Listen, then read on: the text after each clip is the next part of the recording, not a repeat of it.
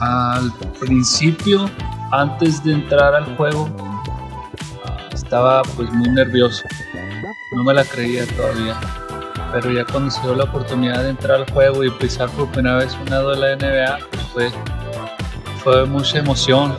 Fue un orgullo ¿no? de, todo el sacrificio que no solo yo hice, también mis padres mi familia, mis amigos. Pero duró muy poquito porque pues me la tenía que creer, ¿no? O sea, tenía que competir, tenía que esforzarme porque es el mejor básquetbol del mundo, entonces me la tenía que creer y, competir y divertirme.